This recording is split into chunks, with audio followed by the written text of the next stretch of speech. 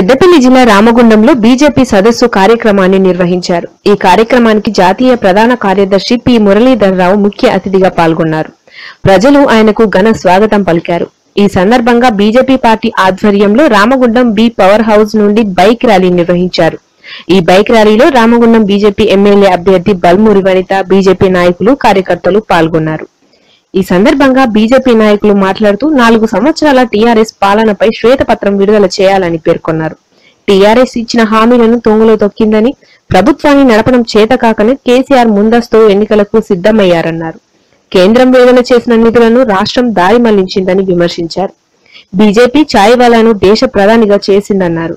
BJP మార్పు కోసం పనిచేస్తుందని మహిళా శక్తిని గుర్తిస్తుందని బీజేపీతోనే సమగ్ర అభివృద్ధి సాధ్యమవుతుందని అన్నారు. అదేవిధంగా రామగుండం పారిశ్రామిక ప్రాంతంలోని పరిశ్రమలు స్థానిక నిరుద్యోగులకు మొదటి ప్రాధాన్యత కల్పిస్తామని హామీ ఇచ్చారు.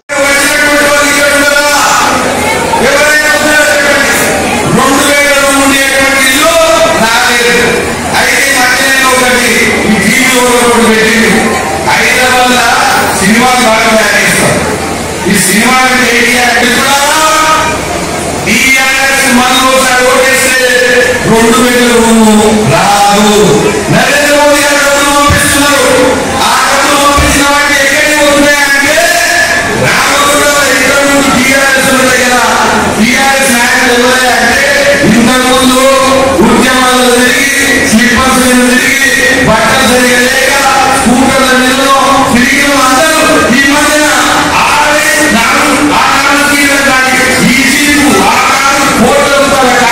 లేదు ఎక్కడ